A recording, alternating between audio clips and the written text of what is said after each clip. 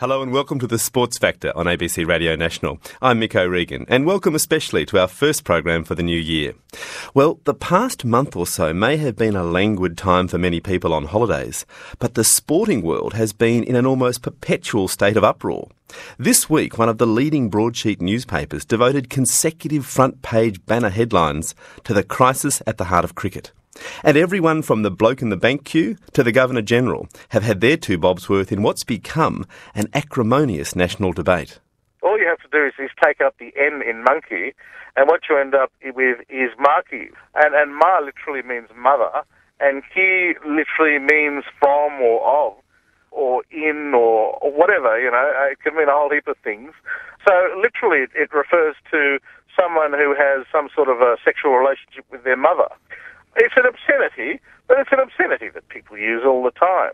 While we should be playing the game tough and hard and all that sort of thing, I think there's also a need to really take care of the fundamental courtesies and good manners because good manners has such a, on the ground and off the ground, has such a big impact on our other cricketing uh, friends around the world, India and elsewhere. And similarly, if, if we go a bit the other way, that can also have a, a nugatory effect. And uh, I think we've got to have a little bit of a look at this.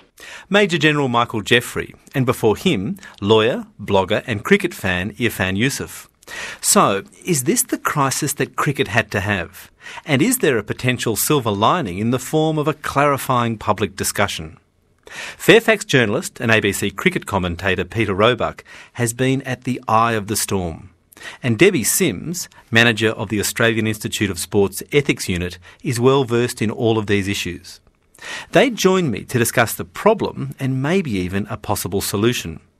Peter Roebuck and Debbie Sims, welcome to the Sports Factor. Thank, you. you. Uh, Peter Roebuck, to begin with you, your, your column of January the 8th, Peter, as you would well be aware, created a, a great deal of controversy when you basically argued that in an, an, article titled Arrogant Ponting Must Be Fired, that the captain of the Australian cricket team didn't deserve his position because of the way he had conducted himself and led the team. Just to begin this conversation, uh, can I get you to, to take me into your thought process when you when you sat down to write that article. What were you what were you thinking? Bill O'Reilly was my mentor, the great former Australian leg spinner and uh, wonderful writer subsequently. He told me that you get one crack at the Australian captain in your career, so time it well. I felt that the events of the SCG Test match warranted that sort of crack uh, because I thought there was bad blood in the game. I thought the Australians were at least partly to blame, if not mostly to blame, for it notwithstanding the Harbhajan episode. Um, I think that must go towards the leadership of the team. My aim was not so much to uh, relieve the uh, incumbent of his duties, I didn't appoint him, um, as to provoke uh, uh, a powerful debate about how Australians want their team to play. In other words, to take the Australian cricket team and captain away from Cricket Australia, away from the internal community that, that will backslap endlessly, and into the, the, the, greater Australia out there and also the greater world out there that it must join. So it was a very calculated move, if you like, to provoke the debate. I, I was then rather overwhelmed by the debate, I might say. Um, it clearly touched a nerve. It wasn't just that article. A lot of people felt the same as I did, a great emptiness on leaving the ground. And Anil Kumble was the main factor in the debate because he came out and accused the Australians essentially of, of bad sportsmanship. And the rest, well, you know the rest. Well, indeed, and that raises a fundamental question of today's sports factor of basically in, in this era of highly competitive, often professional sport, has the very idea of what it is to be a good sport changed? Debbie Sims, you're the person behind the Essence of Sport document produced by the Australian Institute of Sport. I know this is a hard question, but is there, can you encapsulate what it means to be a good sport? I think basically it comes down to respect. Respect for your opponent, uh, respect for the official's decision. And I think the other word that I would look at is um, graciousness. You know, graciousness not only when you win, but also when you lose when I look back at, at the sporting heroes that I most admire, those have all had a level of humility about them. And I think the athletes that I perhaps admire for their sporting ability, but perhaps don't admire them for their on or off field behaviour, are those that perhaps have a level of arrogance. And um, I think we can see that across a range of sports, not just in cricket. Right, now there used to be a sort of terrible, you know, bumper sticker that said something along the lines of, it's hard to be humble when you're as good as me. Uh, Peter Roebuck, do you think that it's almost as if that terrible bumper sticker has become manifest in the conduct of, of a lot of Australian sports people? I think some. Uh, I don't say a lot. There is always a feeling that Australian sporting teams hunt as a pack, and I think the reason for that is historic. This is a remote, distant island from a, on a tough continent full of fires and droughts, you know that well enough, uh, and floods. It breeds tough people, it breeds tough attitudes, it breeds directness because of its historical uh, associations. There's no, been no aristocracy here. So it breeds many things that I like, uh, but also it, it, it breeds that aggression and doubling the fact that it still feels it's a new country. What I feel about the SCG Test match was that it was the last statement of that country because Australia is saying, okay, we, we sort of got over that really. This sort of outburst of, of nationalism that began in the 1970s when this country freed itself from uh, uh, English petticoats in theatre, in, in, in comedy, in so many areas, politics, in so many areas. It freed itself from that subsequent to that, for 30 years, there's been this great breast beating tradition, chest thumping tradition in Australian sport, in some Australian sport, of course, not all of them.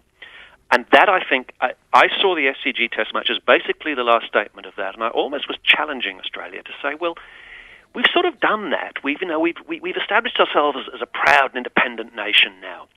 And I think what happened at the SCG was, was, was partly that Australia regressed, because it's trying to move past that, I believe, but that also that India uh, started playing the old Australia. That it too is now establishing itself as a proud and independent nation. And those two, like two big bulls at each other, they came. There only used to be one bull in this paddock, you know, and now there's two. And that's what happened there. So the Australians, I would submit, are trying to move on a little bit. They've made some efforts in that regard. The Indians are determined to establish their uh, their right to the paddock as well, and so they're now playing as they think Australia has always played. Now, now I'm interested in, your reference to the 1970s because uh, many people would see that as a critical decade in, in changing cricket almost from a, a civilised pastime, you know, a, a leisure time uh, occupation to when it really became professional. People stopped playing cricket on Saturdays away from their work and they started to go to work at cricket. Do you think, Peter, that commercialisation of the sport has changed some of the civilities within it? Uh, I think temporarily, and not all of them. I think they can be got back. I think they were got back to some extent in the, in the next two Test matches after Sydney. In Perth and Adelaide, I didn't see anything untoward. There's always going to be a little bit of hot blood on the field, but there shouldn't be bad blood. Um, but let's not denigrate the 70s. This was a fine period. Uh, previous to that, sportsmen were, were in the gutter after the game half the time. And also, I, I think the assertion of Australian individuality that came in the 70s is a very healthy thing. I mean, finally, Australia will eventually get its own head of state when it plucks up the confidence.